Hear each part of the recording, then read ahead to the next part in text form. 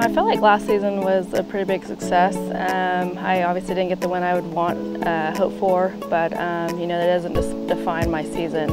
Um, you know I had some great tournaments, finished out strong with the second place, and obviously Solheim being the highlight of the year and, and having that putt and making it was pretty special. So uh, 2015 is definitely going to go down the memory books.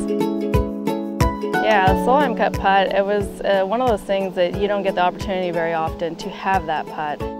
Having those two teams at that level, you know, having it that close and actually coming back from that deficit was pretty cool. And that's kind of what you grow up practicing for. I always told myself, you know, like this is my last drive, I got to get it into the fairway to win the US Open or I got to make this putt to win the Solheim Cup. And actually to have that putt and to make it was, was so special. And and uh, I still can't believe that, that I did it and it's just, it's, it's a memory that, that I'll cherish forever.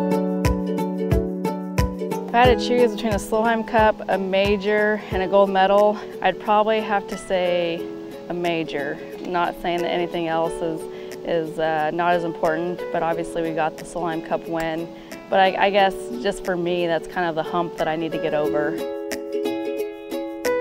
Know, I think to help the LPGA grow, um, we're, we're kind of doing it out here. We have the young faces, they're young, they're talented, they're beautiful. You know, I've never heard someone come to our event and say a bad thing. They're always like, you know, we always enjoy this is our first experience, we'll always come back. You know, I, I like watching the girls, we can relate to their swings, the tempo, the distance, because the men, they do hit it abnormally far. And, you know, the average golfer would love to hit it that way, but they can't relate to that. And I'm not saying that we don't hit it, we're not strong as the men, but we hit it more of a reality.